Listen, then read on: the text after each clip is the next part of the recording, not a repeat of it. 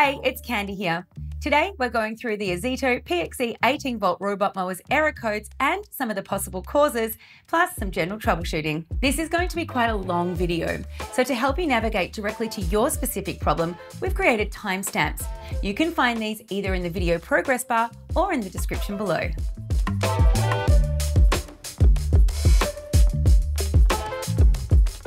Before we get started, let's show you how to reset the robot mower, as this is a really common solution to most problems. But keep in mind if you do this, it may need to remap and recalibrate afterwards. Simply and gently roll your robot mower onto its side and turn this power switch off. Give the robot mower about 30 seconds and then switch it back on. Then input your code and off it goes.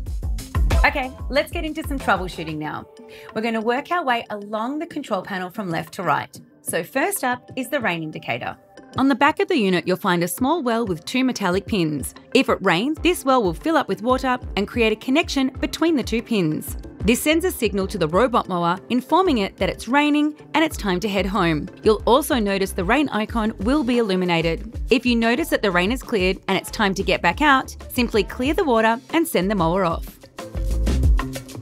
Alternatively, you can let the robot mower stay in its dock and then resume the next day. Next up, we're going to learn about the GNSS, or the Global Navigation Satellite System, otherwise known as GPS. As the robot mower goes about its day, you may notice this LED changing colour. This is normal, as it navigates around your yard. However, should the LED change to red, it's time to reset your robot mower. If the problem persists, it's time to call our customer service team. They're always happy to help. Next, let's move on to the battery icon. Just like the PXC 18 volt chargers, the battery icon will flash red and green to indicate if there is a fault with the battery. If the problem persists, it's time to give our customer service team a call.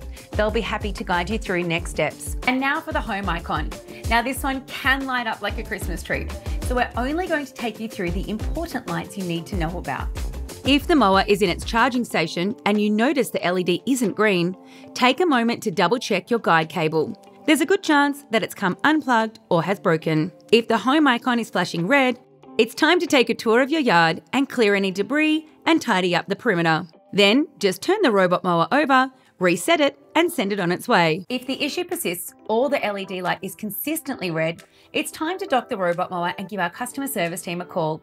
They'll be happy to talk you through the next steps. We're on the home stretch. Now onto the exclamation icon. The most common colour you'll see here is orange, and that's the robot mower letting you know it needs some help. Another reason may be if it's confused about its boundaries, refer to your quick start guide for a solution to this problem.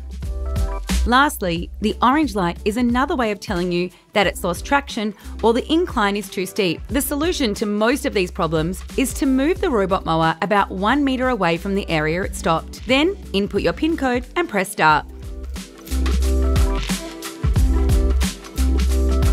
Finally, if the exclamation icon is red, it's time to gently roll the robot mower over and give it a reset. You'll also have to reset the GPS data. To do this, ensure that the robot mower is powered on and unlocked. Now, press and hold both the home and the 10 hour buttons down for 3 seconds. The mower will now remap your yard. Hopefully this guide has now helped you understand your Ozito PXC 18 volt robot mower even more. Don't forget you can always refer back to your instruction manual for more in-depth troubleshooting or you can give our customer service team a call. We're always happy to help.